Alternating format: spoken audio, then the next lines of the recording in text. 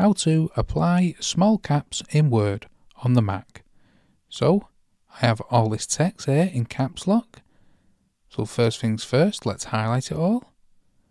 Then come up to the top here and you want to select this large A and the small a. And this is the change case section. Once you select it, this drop down menu will appear.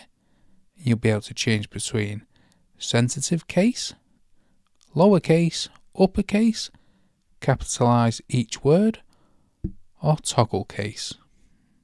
So if you select lowercase, all the text will be lowercase. If you select sentence case, the start of each sentence or after a full stop will be capitalized. So that's how to apply small caps in Word on the Mac. Hope you found this video helpful. If you did, smash the like, smash the subscribe, and thanks for watching.